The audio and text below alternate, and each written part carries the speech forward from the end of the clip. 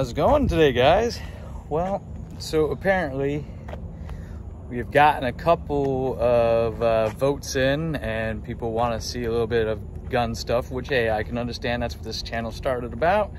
So, but today, I do have a gun video today.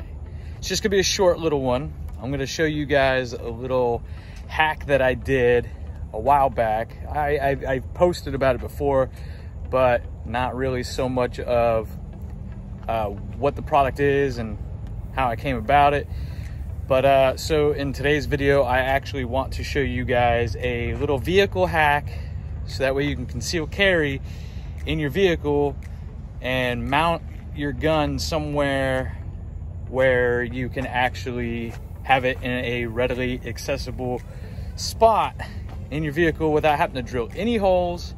Just a short, small, simple little life hack for your newer vehicles that you don't want to put holes in your uh, dash in order to uh, conceal carry in your vehicle. Um, this is for not being on your person. This is specifically for whenever you're in your car and say you have two guns, one that's on your person and one for your vehicle.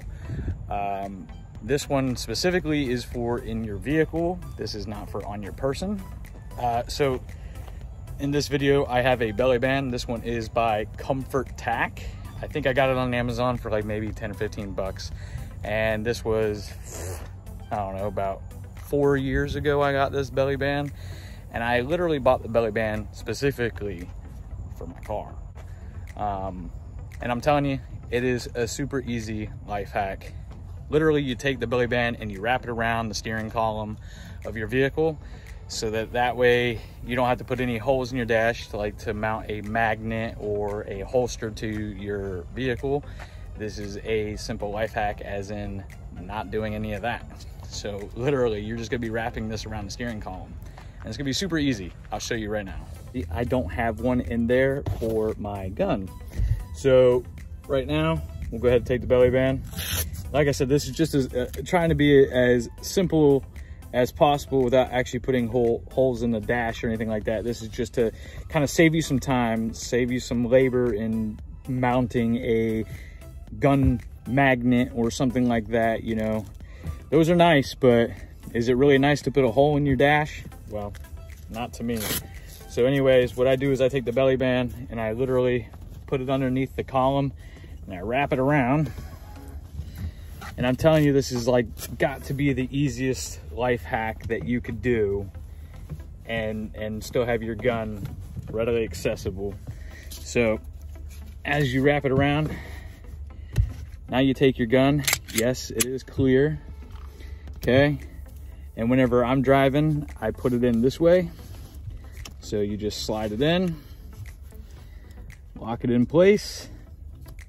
So that way it doesn't come out and voila, just like that. Super simple, completely easy. And I believe the belly band was only like 10, 15 bucks. And I'm telling you, watch how fast it is. When you're out on the road, I'm telling you, it is so much easier to have something be readily accessible and hole free on your vehicle. But on this specific model, have something a little bit different. So I'm not really using the whole belly band in this specific vehicle because well, on the Rams, I kind of have a little bar here, or a little pocket, not bar, a pocket, and I'm telling you, your holster fits in there relatively tight. And uh, here, let me see if I can do this. My gun just drops right in and comes right out.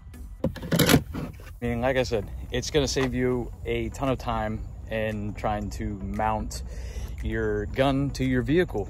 And as you can tell, I don't want to put any holes in, in this 2022. So for a simple little life hack, say, you know, you didn't have this specific model vehicle, so you didn't have that little cubby like I do, but I'm telling you, it's gonna save you a lot of time and effort and also keeping your vehicle hole free.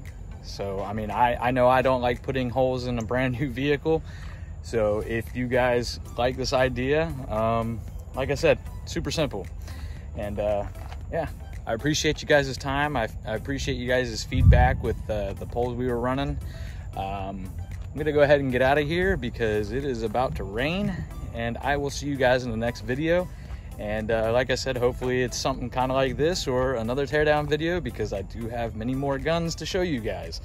And I would love to do another teardown video with, uh, hopefully my next gun will be the, um, I believe the next gun that I was wanting to do is the uh, SIG uh, MPX.